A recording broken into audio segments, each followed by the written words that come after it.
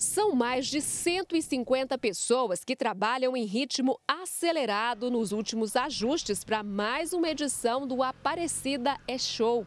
Nós estamos aqui com aproximadamente uma semana de trabalho, com 150 homens trabalhando na montagem dessa estrutura. E hoje, a partir das 18 horas, já está tudo pronto para receber o público que virá aqui nessa grande festa.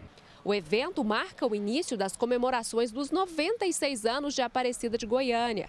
Com entrada de graça, a expectativa é que mais de 80 mil pessoas participem da festa, com parque de diversão, rodeio e várias atrações musicais será totalmente gratuita, até para que os pais, as famílias aparecidenses tenham condição de vir para a festa, de gastar, de poder estar aqui com as suas famílias. E foi justamente nesse sentido que nós inovamos esse ano, todos os dias portões abertos, para que de fato aquela pessoa que está com condição financeira ah, um pouco pior aí, tem a condição de vir na festa, participar e, claro, curtir esses 96 anos de história de Aparecida. Uma grande estrutura foi montada para receber os moradores de Aparecida e toda a região metropolitana. Um dos mais animados com a festa é o Fábio, que trabalha como cozinheiro e garçom, mas vai aproveitar o evento para ganhar uma boa renda extra, vendendo pipoca e batata.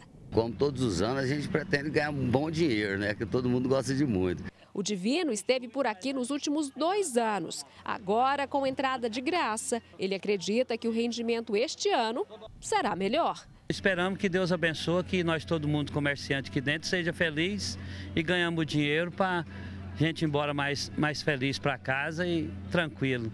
O palco principal da festa vai receber artistas consagrados pelo público. Na abertura, nesta quinta, tem o cantor gospel Fernandinho.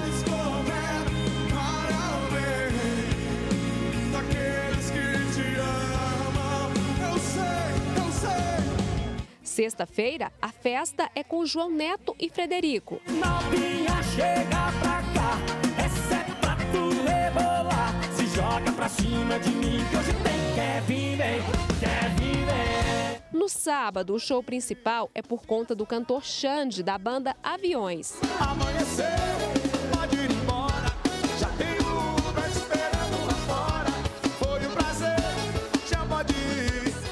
E no encerramento, o show é com o cantor sertanejo Jefferson Moraes.